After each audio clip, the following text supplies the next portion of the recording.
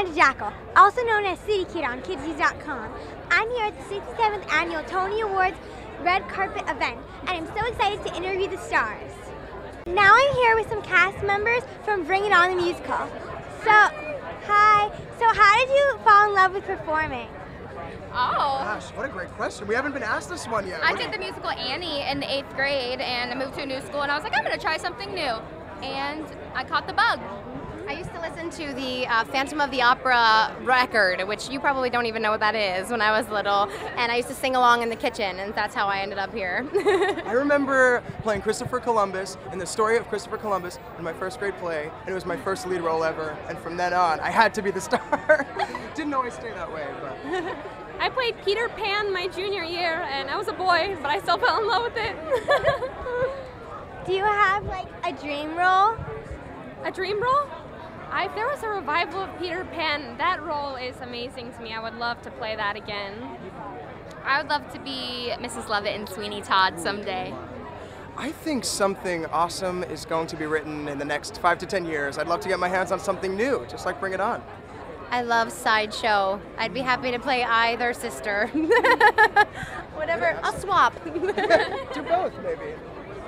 Thank you. So on Thursday, I talked to Neil Patrick Harris, and I asked him if he thought Miss Hannigan or Miss Trunchbull would be a be- better babysitter. Who would you rather have babysit you? Oh boy, neither. Can you take that one as an answer? Okay. they're both mean, so neither. Okay, thank you. Congratulations. Now I'm here with Shalita Grant, who's nominated for Vanya and Sonia and Masha and Spike. So, do you have a dream role? Um, I'm playing it actually. This is it. This is this is it. I reached it. Do you have like a craziest audition story? Oh yeah, when I auditioned for my first high school, I auditioned um, with A Raisin in the Sun, and I played both characters, and I did a scene instead of a monologue, and I slapped myself in the audition. They let me in though. Thank you. Thank you. Good luck. Now I'm here with Rob McClure from Chaplin. So, how did you fall in love with theater? Oh God, I, I, I started doing the plays in high school, but not because I thought I was any better or worse than anybody at it. It was just another fun thing to do. Like I did the bowling team in the winter, and then I did the play in the spring. Um, but I slowly realized that there's a sense of family and a sense of camaraderie in theater that you don't get anywhere else. Um, and I, I really quickly fell in love with that. And then I saw a bunch of shows, and I remember there was a show called Sweeney Todd that I saw, and I, that was the first show where I thought like I don't know how I'm gonna do this for the rest of my life, but I want to do this for the rest of my life. You know. Is there anyone particular that you would like to collaborate with next? Oh my gosh, there are, I have thousands of people. Every time I see Tom Hanks at one of these things, I just think I I'll play a waiter in one of your movies just to get to talk to you on camera. Thank you. Congratulations. Thanks, sure. Luck tonight. Now I'm here with Will Chase from The Mystery of Edwin Drood. So you've also done a lot of TV. You were on Yes. Smash. What? Um, how is it like different doing theater and TV? Well, theater, you go from A to Z every night. You do eight shows a week.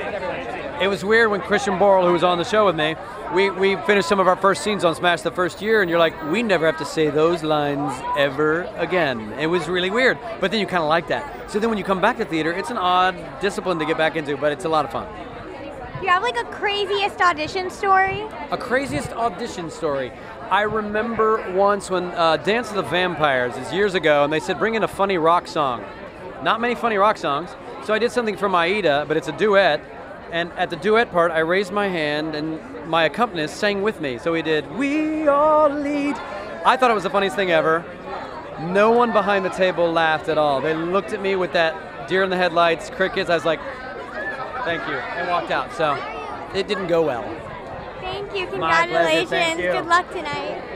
Now I'm here with Lilla Crawford, who plays Annie. Annie. So can you tell us the story of when you found out you were going to be Annie on Broadway? Well, I basically, my agent tricked me into coming into um, my agent's office because they didn't want to tell me, oh, you're coming in so we could tell you about Annie. They had to make up another story. So they made up this crazy story and they got me there. I mean, I kind of fell for it. And then, I mean, when I got there, they set me up and said I was going to do a commercial. And um, basically, they started asking me like really, really random questions. The commercial, they said the commercial was about dogs, but it wasn't. And so they started asking me really random questions about dogs. And then finally, um, they said, "So, how does it feel to be Annie on Broadway?" and I was just that was just probably the most confusing moment of my life because, I mean. I haven't I haven't heard anything yet and then finally someone screamed you got the part and it was just the happiest moment of my life. It was so exciting and I'm having so much fun with it. How did you fall in love with performing? Well, I mean, I've always had that bug. I ever since I was little, I would always sing and dance around the house, and so I've always wanted to be. I mean, if somebody asked me what do you want to be when you grow up, I would say I want to be on Broadway, and so it's always been a dream of mine, and it's just it came true, and it's just a dream come true. Thank you. Congratulations. It's been an amazing night here at the Tony Awards red carpet. I've met so many legendary people and learned so much about them. So make sure to tune into my videos on kidzvuz.com.